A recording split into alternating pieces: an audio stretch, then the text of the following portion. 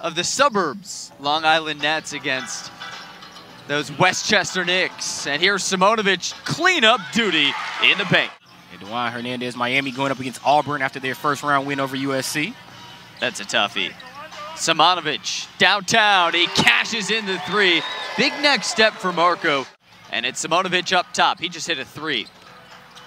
Drell thought about it. Gets it right back. And Drell to the can. Nice give and go. Keithan Savage just checked in. In and out. And Simonovic another rebound. Now Hill by himself muscles it home. Hot offensive start for Westchester.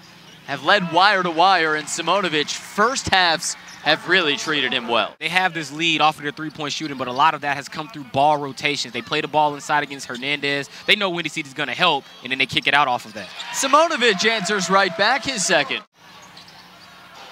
Hernandez wide open. He can hit it, but leaves that short.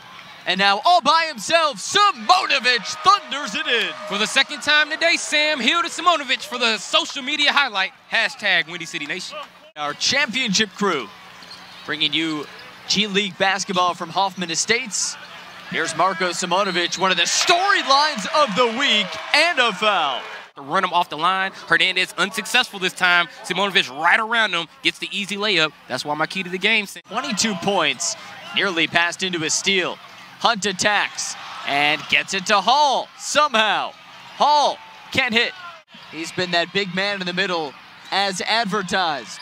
Pargo, Simonovic, count it. Oh, what a play by Marko. Low screen and rolls in the high mid post. A lot of kissing. Hey, the love's in the air. We're tied at 116. 2.30 left at the now.